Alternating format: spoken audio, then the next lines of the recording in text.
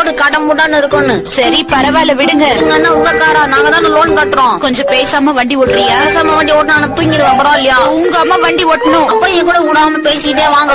FM போட்டுக்கோ லோட லோட பேசிட்டு இருந்த எஃப்எம் எவனோ வந்து தூங்கி போயிட்டான். அதுக்கு என்ன என்ன பண்ண சொல்ற? சும்மா இப்படி வரீங்களே உங்களுக்கு வேலை வண்டி இல்லையா மேடம் என்னால முடியல சிச்சான் இதெல்லாம் கேக்குறேன்னா நீங்க சும்மா உறவாக்கு போறேன்றீங்க. சும்மா வந்தப்பா காசு கொண்டு வரலன்னு சொல்லிட்டீங்கன்னா அப்புறம் ஏன் பொழப்பு